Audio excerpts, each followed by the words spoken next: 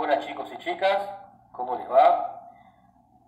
Hoy les traemos la cuarta actividad de producciones vegetales de ciclo corto, huerta. Profesores Sanjurjo César, de la Comisión 1, e Incharra Gabriela, de la Comisión 2, 3 y 4. Hoy vamos a ver las plantas y sus partes y también la importancia que tienen para el ser humano.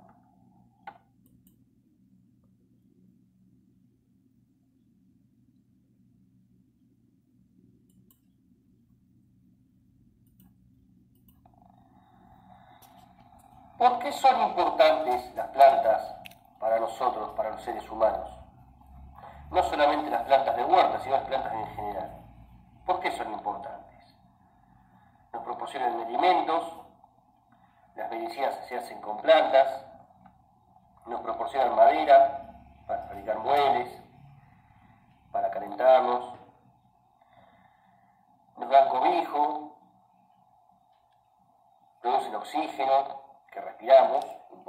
y mantiene la regularidad del ecosistema. Bien, por eso son importantes las plantas para las personas.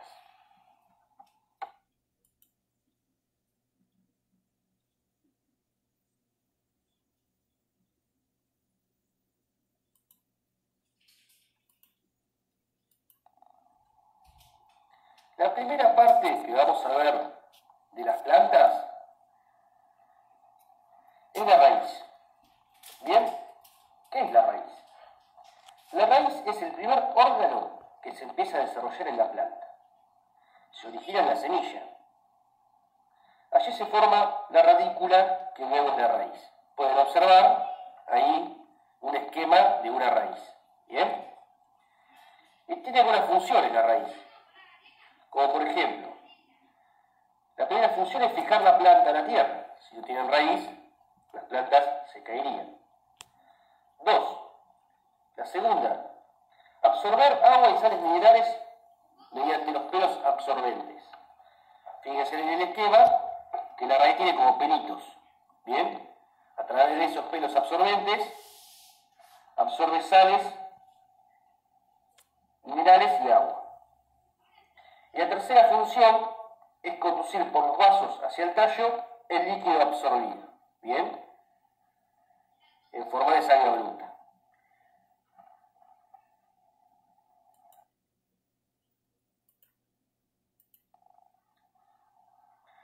Nosotros de la huerta comemos diferentes raíces, como la zanahoria, de la zanahoria comemos la raíz, el rabanito, la remolacha, la batata, entre otras raíces. Tenemos hacer un paréntesis acá. La papa no es una raíz. En clases siguientes veremos qué es la papa. Reiteramos, comemos diferentes raíces, como la zanahoria, la batata, el rabanito y la remolacha.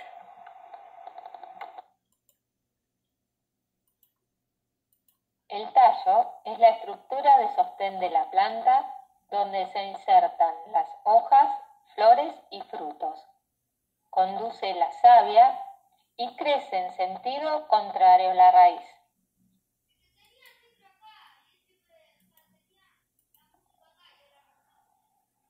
hortalizas de las cuales consumimos los tallos, apio, puerro, perejil, entre otras. La hoja es una de las partes más importantes de la planta porque es el órgano donde se realiza la fotosíntesis a partir de la luz solar y donde se elabora el alimento que la planta necesita. Además, realiza la respiración y transpiración.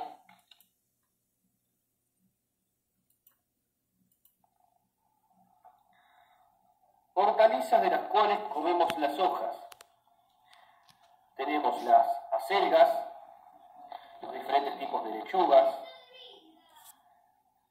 la rúcula, las achicorias, entre otras.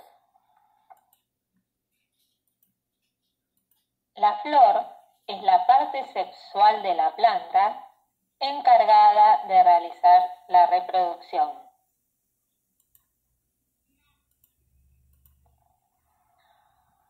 Hortalizas de las cuales comemos la flor. Tenemos el brócoli y el coliflor.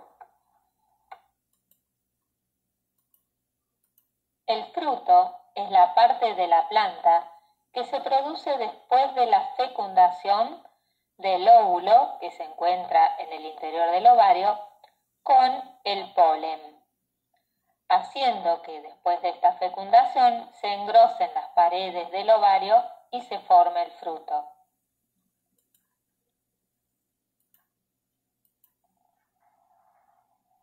Hortalizas, de las cuales consumimos sus frutos, tenemos los diferentes tipos de tomates, como el platense, el tomate pelita, el tomate cherry, los pimientos, como el morrón, los diferentes tipos de zapallos, zapallitos,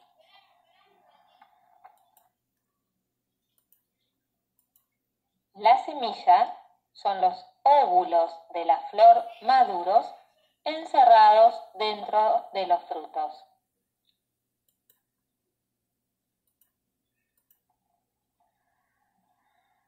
Semillas que consumimos de la huerta, tenemos las diferentes plantas, arvejas, habas, porotos, maíz blanco, entre otras.